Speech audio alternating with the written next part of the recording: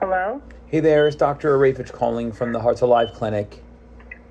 Hi. Hey there. So I, I have bad news for you. Unfortunately, the uh, the, the other puppy is not doing well. Okay. Um, so we, I'm here with uh, with Christy, you know, the owner, and um, we were going to Yeah. try oxygen therapy and see what that did, but I just the lungs just must not be developed enough, you know, and, and so I, I think probably this puppy should be put to sleep the same way the other one did. I think they're, we're just we're suffering now, and you know, even Okay.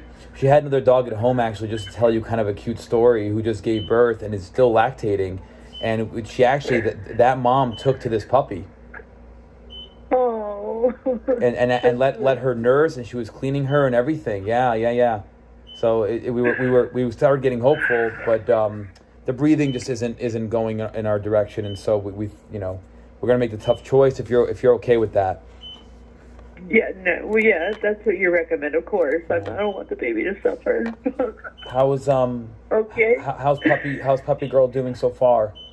Um, she's doing actually really good. She came home. She was crying in the car a little bit, and then um, she didn't like the cone, but she she went did a poo poo. She peed. She ate a little bit of food, and then she cried a little bit like 30 minutes ago. And I gave her the pain medicine, and, and Yeah. she's sleeping now with her cone. Oh, But she's doing really good. good, good. I'm glad mom's doing okay. Okay, good. Yeah. Well, I'm sorry to call you so Okay. late, but I promised I would if No, something turned. it's okay.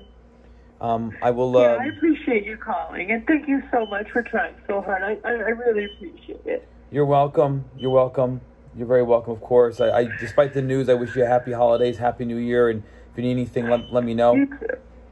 You too, Doctor. Thank you so much. No Christmas. problem. Merry Christmas. Bye bye. Thank you. Bye bye. And those are the decisions we have to make. Unfortunately, it's um, almost nine o'clock at night here, in Las Vegas, Nevada.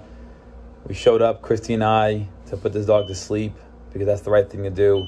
Puppy is just suffering, and unfortunately didn't make it through the C-section. Um, probably just too premature. So that's the end. And um, hopefully the mom will heal up okay. Sounds like she's doing well at home. Any changes, we'll let you know.